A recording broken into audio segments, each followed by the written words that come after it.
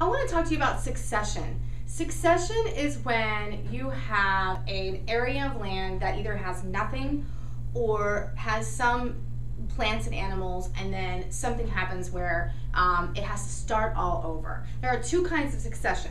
Primary succession is where it's bare lava rock. We're starting from a volcano that creates an island or an extra part of the land, nothing's on it. So the first things that are going to grow are like lichens and moss, uh, plants that can handle growing in harsh environments.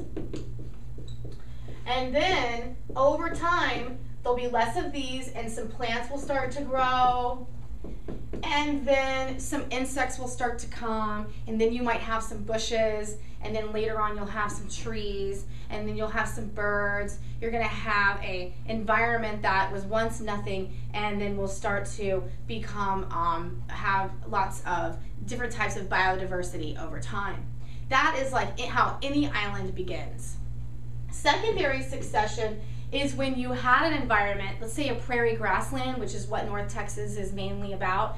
If you have a prairie grassland fire from like a lightning strike, then um, it is the grassland is going to be you know burned down, and so then you have bare soil after a disturbance, such as a fire or a hurricane, anything like a natural disturbance.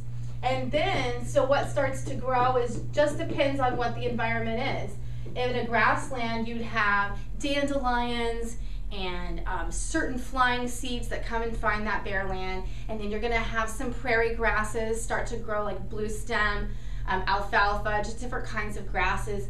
And then you're going to have some small bushes, and then some mesquite trees will start to grow. And then um, over time, those bushes will start to die out, more trees will grow, and then you're going to have your animals slowly come back to from that secondary uh, succession. So that's secondary succession.